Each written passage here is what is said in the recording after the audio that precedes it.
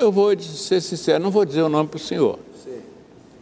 Mas ex- existia, eu não era tão especialista assim. Existia gente mais especialista do que eu. Sim, mas o senhor fazia também. Vai ser difícil eu qualificar quem eu fiz. É isso que eu queria que o senhor me dissesse, um nome que o senhor fez de uma pessoa. É possível que o senhor tenha feito isso no corpo e não tenha, não tenha sido curioso de saber quem era. Eu concordo, mas não vou revelar isso para o senhor. Hã? Então o senhor sabe, o senhor não quer revelar.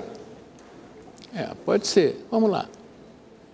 E qual, qual é o inconveniente, senhor? O- o- o- o fato grave já, o senhor já contou. Por que não dar nome aos bois?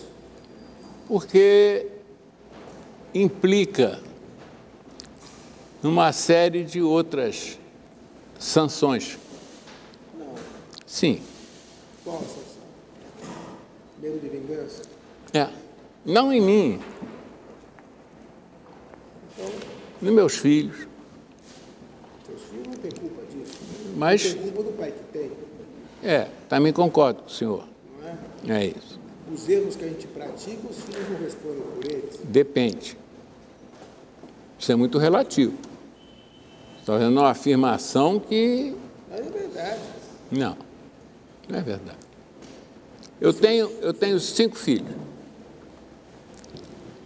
E tenho oito netos.